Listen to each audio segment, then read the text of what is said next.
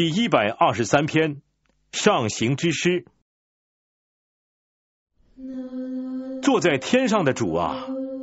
我向你举目，看呐，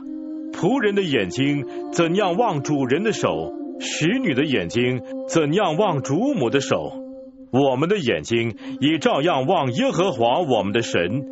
直到他怜悯我们。耶和华，求你怜悯我们，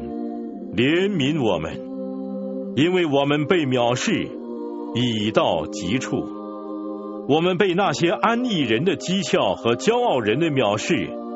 已到极处。